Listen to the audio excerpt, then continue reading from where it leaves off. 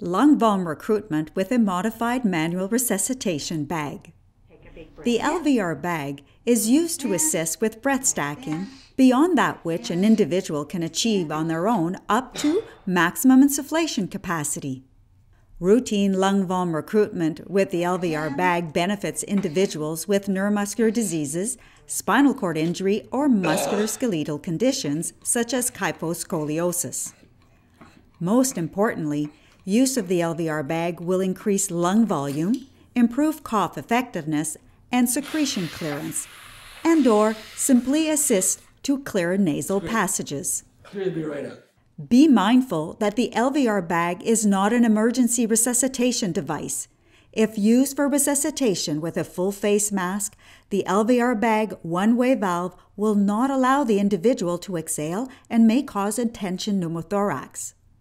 When first using the LVR bag, it is recommended to be familiar with the kit's contents.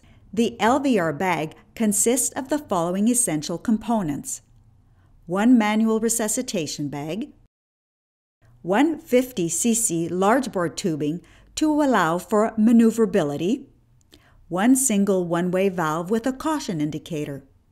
This one way valve assists with breath hold in conditions with weak upper airway. The one way valve capped port can be used to add a pressure manometer. Then there's a screen connector to trap the unidirectional silicone piece should it become dislodged from the one-way valve connector. And lastly, a mouthpiece with or without an added connector, which will be dependent on the type of mouthpiece used. Nose clips are optional and should be used if the individual is unable to close the soft palate or when air escapes through the nose during breath stacking.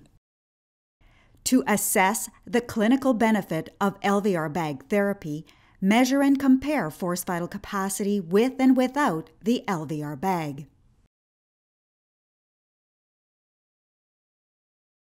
Brad's forced vital capacity without LVR bag is 0.9 liters, 17% of predicted normal.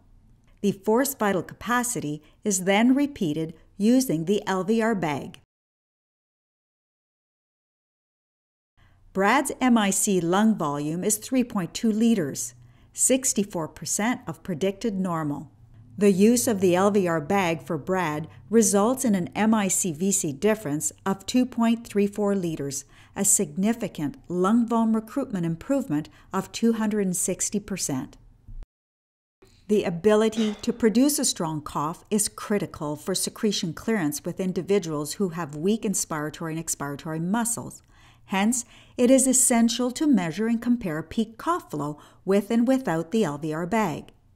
To demonstrate the procedure, Robert volunteers to perform his best spontaneous peak cough flow, 60 liters per minute. The peak cough flow is then repeated using the LVR bag, breath stacking to maximum insufflation capacity. Robert's peak cough flow with LVR bag increases to 210 liters per minute. When Robert combines breath stacking with the manually assisted cough technique, his peak cough flow significantly further improves to 310 liters per minute, well above the recommended peak cough flow of 270 liters per minute required for effective secretion clearance. Visit our website at www.canventottawa.ca for more comprehensive information.